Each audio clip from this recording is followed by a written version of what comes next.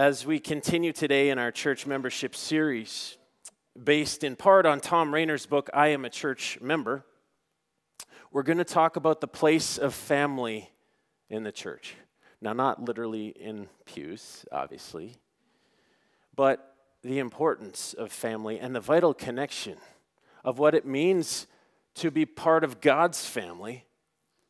But God's family is made up of families. That is who we are. We all come from families. And together we are God's people, His family. We've talked a lot about the body of Christ, that important metaphor in Scripture of the church. We are the body of Christ. But today we're going to focus on the family, that we are the family of God. Paul uses this analogy throughout his letters. Primarily, we, we see this in Ephesians, the book of Ephesians, beginning right off the bat in chapter 1, where we read, Even before he made the world, God loved us and chose us in Christ to be holy and without fault in his eyes.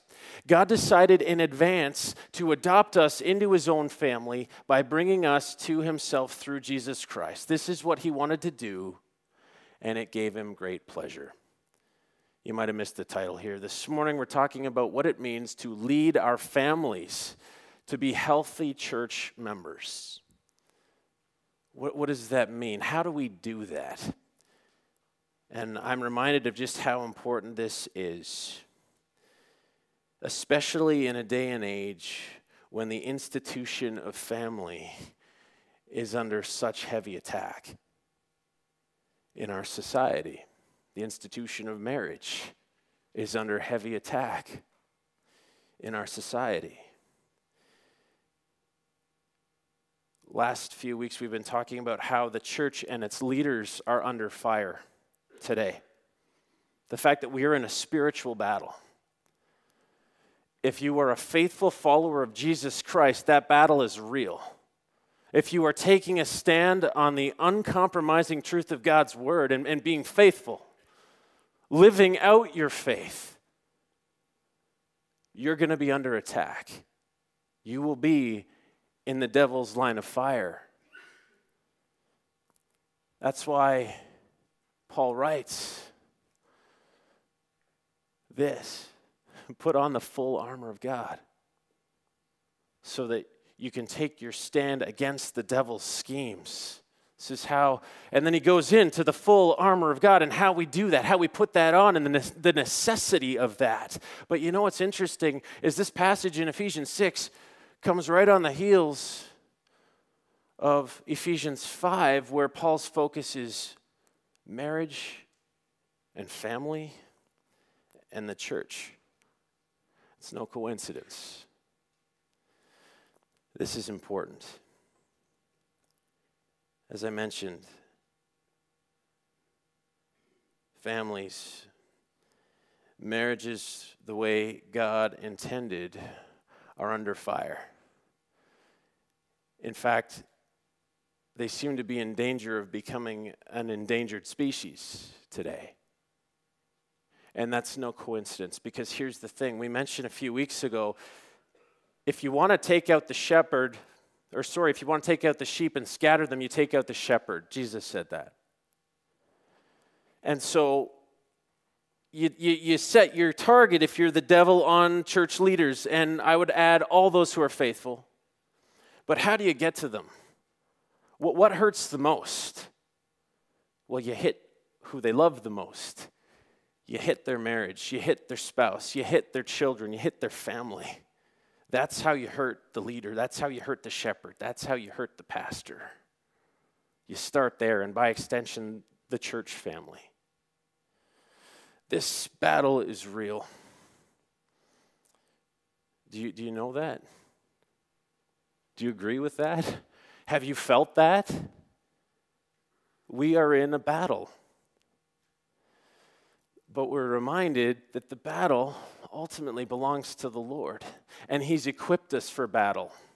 And today, as we talk about what it means to raise families who will be healthy church members, man, we're, we're reminded of just how hard it is to raise a family who are healthy people, let alone healthy church members. But we find in God's word the principles that we need, the truth that we need to live out. And if we stick to what God's word says, we can be successful by the power of His Holy Spirit. We can do this, it isn't impossible. In fact, God has called us to live not just different lives from this world, but abundantly different lives, lives that are abundant in Christ, which means that when people look at our families as Christians, at our marriages, they should see something radically different. They should see a relationship that is fulfilling, that, that is abundant, that is joyful, not that doesn't have conflict, but that thrives in the midst of it, like we talked about last week. A life of abundance in Christ, because it's a life in the Spirit. We have the Holy Spirit of the living God living inside of us. Amen? Amen? He's there, He's in here. Today, I want to talk about what it means to allow Him to have His way, to submit to Him, and to surrender to Him because it has important implications, in fact, vital implications for our marriages and for our family, and by extension, for this church family. Please turn in your Bibles with me to Ephesians chapter 5. And Laura read this. We, we did this responsive reading. Our responsive reading, reading this morning was taken directly from this passage in Ephesians chapter 5, and it went into Ephesians chapter 6. And as you're turning there, just set this up. The Apostle Paul writes this letter to the church at Ephesus around 60 AD. An important letter that would have been circulated to all the churches in Asia Minor because it was through the church at Ephesus that they were all founded. In fact, this could have been addressed to any one of them. And the issue that we're going to look at here that was heavy on Paul's heart in writing this letter is the issue of marriage and family, but specifically as those relate to the church and the family of God. Paul uses this picture, this important analogy here, and it's important we understand. And I know we've read it and it was good to read, but I'm, I'm going to invite my wife, Jennifer, to come on up here, and we're going to read this once again, starting at verse 21 today.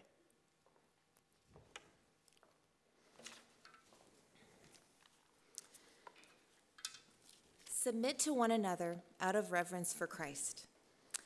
Wives, Submit to your husbands as to the Lord, for the Lord is the head of the, of the wife, as Christ is the head of the church, his body, of which he is the Savior.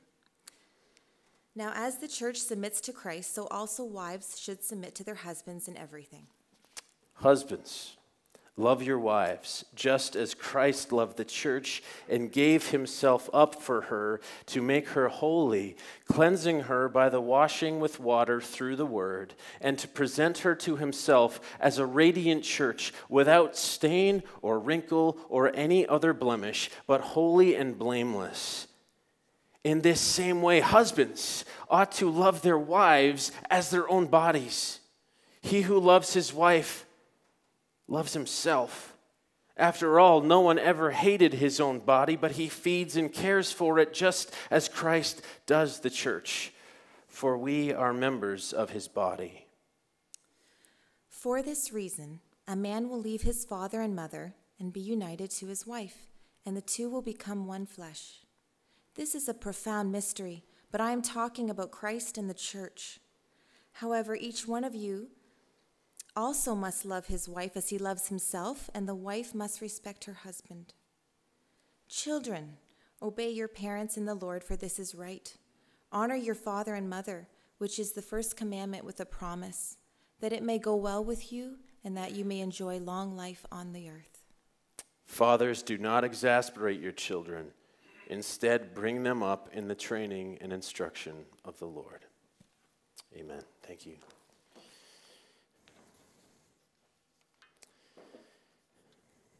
Is this passage about the church or about marriage and family? The answer is yes. It's about all of them and how they are connected. The picture that marriage and family and how we operate in marriage and family is to reflect what happens in the church. That is what Paul is talking about here. As he makes clear, I'm talking about Christ in the church, but he is nevertheless talking about marriage and family. And everything in this passage hinges on one, one thing it's a word that we don't like, some of us. It's a word that we can struggle with submission. Submission. That's Paul's focus. That is the principle that every Christian, every believer must follow submission. In order for a marriage to function the way God intended, in order for the family to function the way God intended, in order for the church to function the way God intended, we must submit to one another out of reverence for Christ. Submit to one another out of reverence for Christ.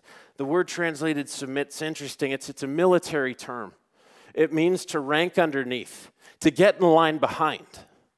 So it's a picture of actually fighting to be last in line. Not long ago, I was on a class trip with uh, my son Theodore uh, and, and his class, and we, we got on this bus. And it's crazy. These kids go nuts getting in line to get on the bus, a school bus of all things. But they want to be first. And there was this fight, literally, a fight broke out between three of these kids who, who were trying to be first in line. Because that's our natural inclination, isn't it? We want to be first. And what Paul has in mind here is no, no, no, you, you want to be last. It's about putting everyone else before you, their needs first. And this is what he has in view when he writes Wives, submit to your husbands as to the Lord. Now, when you come to verse 25, you might think, okay, hold on, husbands, we're off the hook. We don't have to submit. Look, he doesn't use that word, he uses another word. Husbands, love your wives. The word agape means unconditional sacrificial love, which husbands is like the ultimate submission. That is the ultimate picture. As he says, husbands, love your wives just as Christ loved the church and gave himself for her. He's talking about sacrificing, the ultimate sacrifice of Christ, laying down his life for the church. That is how, husbands, we are to love our wives. Be ready to and willing to lay down our life for her, to put her needs first, no matter the cost, to be there to support her and bear her burdens and carry her and provide for her. That's the picture here. Okay, great. So then we come down to chapter 6. It's all one thought. And he continues that thought when we read, Children, obey your parents in the Lord, for this is right. And we think, I think we can all get on board with the idea that he's, children should submit to their parents, right? In obedience. That's the point here. But parents aren't off the hook either. Look at verse 4. Fathers, and by the way, that's a, that's a term, broad term that can literally mean parents. So this isn't just for fathers, but parents, do not exasperate. Do not provoke your children to anger. Don't push them over the edge, but instead bring them up in the training, also translated nurture, nurture and admonition or instruction of the Lord. Here's the point in this whole passage submission for all of us. And again, what's the picture? The picture is ultimately Christ in the church. The church is to submit to Christ. And as we do that, we submit to one another. That's the picture here. Great. Great. Submit to one another out of reverence for Christ. How come we don't? how come this doesn't happen?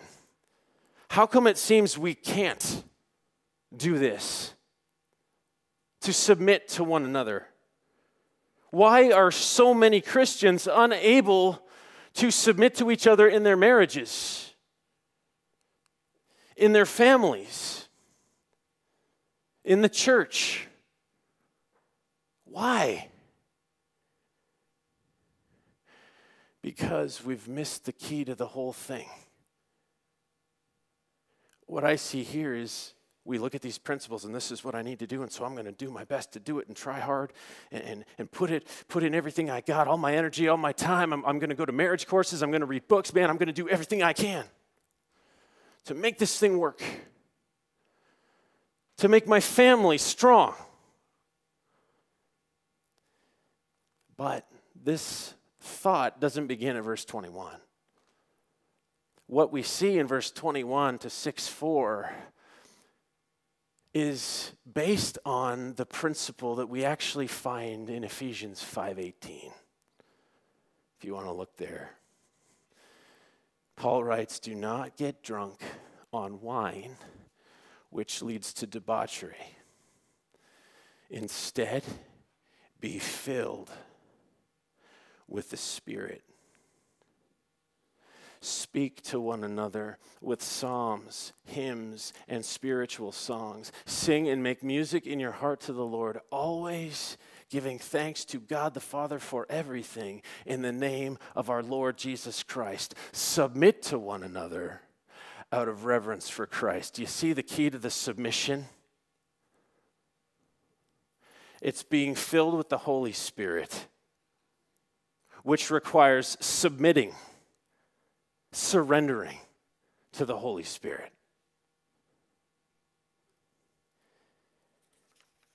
You see, Christians have failed because Christians have failed to be filled with the Spirit. Because Christians try to operate on their own on their own strength, their own resources, and, and we miss the first and most important principle, which is to submit ourselves to the Holy Spirit of the living God who dwells in us. If you want to live a godly life, if you want to have a godly marriage, if you want to raise a godly family and lead them to be healthy members of God's church, then first and foremost, you and I, we must submit to God the Holy Spirit so that we can in turn be filled by Him, empowered by Him to obey. That is the picture here. And that is the fundamental piece that we need today. It's the filling, empowering of the Holy Spirit of the living God who is in us, and He who is in us is greater than He who is in the world, which is the only factor that we have going for us. It's the only thing that people will be able to look at in our lives, in our marriages, in our families, and say, okay, there's something clearly different here. And it's not just because you're smart or because you've done the marriage courses, it's because God is at the center of your marriage Christ, His Holy Spirit. You can't have a Christ centered marriage, you can't have a Christ centered family if you don't have Christ as the center of your life through the presence and power of His Holy Spirit and submitting to Him and being filled with Him constantly.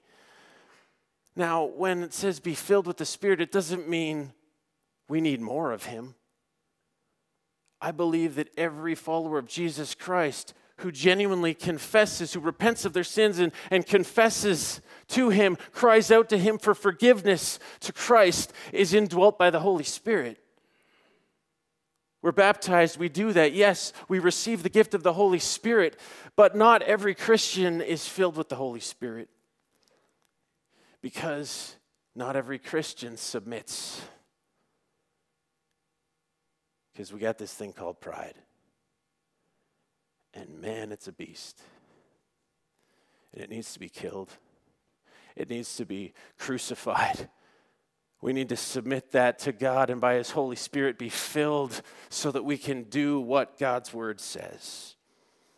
And I'll tell you what it looks like when we are filled with the Holy Spirit. Paul explains it. Look at we will speak to one another with psalms. What are psalms? It's the word of God. Colossians 3:16 says, "Let the word of Christ dwell in you richly." That's the picture here. It's a parallel passage. We're going to speak God's word, the principles of God's word. We're going to talk about that along with hymns, spiritual songs. You know what's going to happen? We're going to sing and make music in our heart to the Lord. It's a picture of worship, spirit and truth, worship. We're going to be overflowing with thanks for who God is, for what He has done. Always giving thanks to God the Father for everything. That's a picture to me of, of prayer, of constant prayer in the Spirit on all occasions. As Paul writes in Ephesians 6. And how? How do we do this? We submit to one another out of reverence for Christ. Only as we submit to God, the Holy Spirit, can we do that. And Thom Rainer in his book, I haven't really talked about it at all yet, but, but this is where he lands. He doesn't really address the things I've talked about in the book, but he lands on these two important points for our families of leading our families to be church members, as spirit filled church members, we can lead our families to pray together for the church. That's his first point. Pray together for the church. And, and Rainer gives a little bit of insight into his own experience as a dad, as a husband, and raising his family. And here's what he says As our family prayed together for our church, my three sons grew up with a love for the church. They were not blind to the problems and challenges that occur in any church. They did learn, however, to love people unconditionally. And in doing so, they learned to love the church. Part of the opportunity and honor of being a church member is teaching our family to love the church. And that teaching often begins by praying together as a family for the church where God has placed us. Novelist and social critic James Baldwin said this Children have never been very good at listening to their elders, but they have never failed to imitate them. And it's true. My friends, the question is this what are our children imitating when they look at us? Specifically, what are they learning about the place, practice, and importance of prayer? in our lives, in our marriages, in our families. What are they going to do? What are they absorbing from us? What is the understanding that they have about God through the way we talk to Him? May our children, those in our sphere of influence, see in our lives reliance on prayer, on talking to our Father in heaven, not just daily, but constantly, taking all of our needs to Him, praying in the Spirit on all occasions with all kinds of prayers and requests. Because we have to, because we need Him, because we rely on Him. May they see that and do that. And in doing that, may they learn to love the church May they learn to love Christ and his church that he died for. So I hope and I pray this morning, my friends, that, that our children will see parents who pray with and for our spouses, with and for them, our children, and with and for our church. Secondly, as spirit filled church family members, we can lead our families to worship together in the church as we did this morning, as we do every Sunday. What a beautiful picture that is. It's so important. Thom Rainer says this As a church member, I am responsible for encouraging and leading my entire family to worship together in the church. If I'm married, I seek to include my spouse. If I'm a parent, I seek to include my children. My family must see my love for the church. Many church members are single. They have no immediate family with whom they can worship in the church. Regardless, there are still people watching them and how they love the church. They are to be example, an example to others. And I, I just want to say this because Rainer does address the very challenging situation of a church member who has a family member or family members who are not believers, not part of the church. And of course, this can be especially difficult in the case of a church member with an unbelieving spouse. And here's what he writes, and I appreciate his words here. He says, It can be lonely to be the believer in an unbelieving family. It can likewise be lonely going to worship at your church alone while your spouse remains behind. But God has given such people a mission field, their families like the missionary who travels thousands of miles to tell the good news to unevangelized people, this church member is to tell the good news in his or her home. A godly spouse can be a key factor in the unbelieving spouse coming to Christ. And that godliness is often demonstrated by the believing spouse's love of the church. I know there's many of us here in that situation. And we pray for you.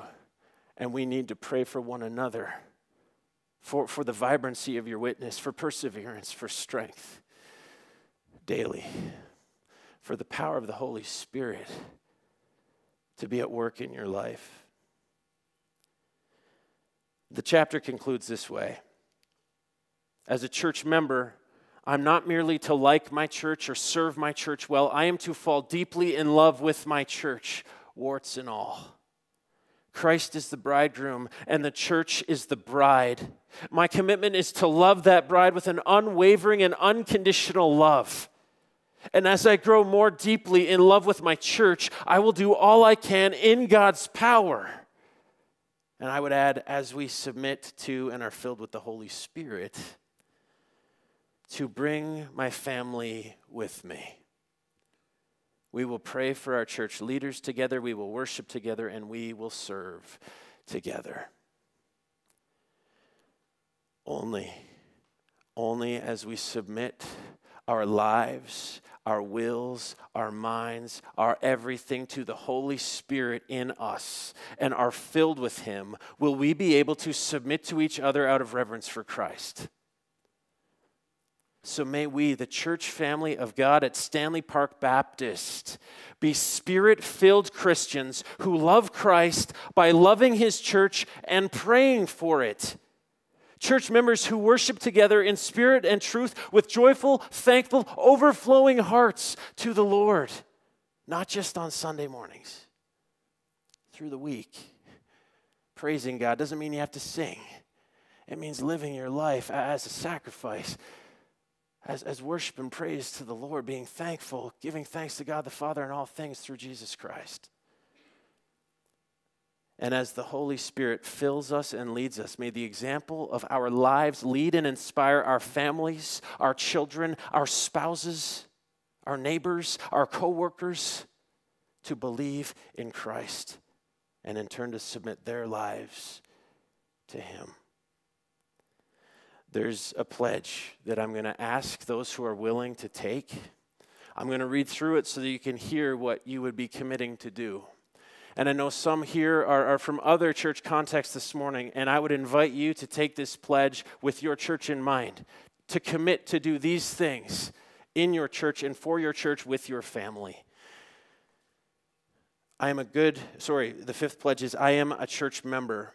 By the power of the Holy Spirit, I will lead my family to be good members of this church as well. We will pray together for our church. We will worship together in our church. We will serve together in our church. And we will ask Christ to help us fall deeper in love with this church because he gave his life for her. I'm going to ask you to stand, and those who are willing, I, I would ask you to take this pledge with me and follow the PowerPoint uh, because I've added, I think, the important piece, the most important piece, the power of the Holy Spirit that enables us to do this. Together, let's make this pledge. I am a church member. By the power of the Holy Spirit, I will lead my family to be good members of this church as well. We will pray together for our church. We will worship together in our church. We will serve together in our church. And we will ask Christ to help us fall deeper in love with this church because he gave his life for her. Amen. You may be seated. Heavenly Father, God, as, as we say these words, as, as we make this commitment, Heavenly Father, we acknowledge again on our own, in our own strength and resources, we will fail every time. But Father, thank you. Thank you for the gift of your Holy Spirit who dwells within those of us who believe. Holy Spirit, have your way in our lives, in my life, Lord. I lay it down and ask you to fill it. I give you control. Have your way in my thoughts, through my words, in my actions, so that I would be able to do what your word says, to submit to others, to submit to my wife, to submit to my children, to submit to my fellow brothers and sisters in Christ out of reverence for him. Father God, I pray that, that you would empower us your people here to live lives that inspire our children, inspire those in our spheres of influence to obey, to ask the question of why. Why are they different? What is different? And want to know the answer. Father God, I pray that you would have your way here at Stanley Park today and tomorrow and in all the days to come, Father God, as we seek to be faithful by submitting to you, surrendering our lives to you, and being filled with your Holy Spirit. In the name of Jesus, I pray.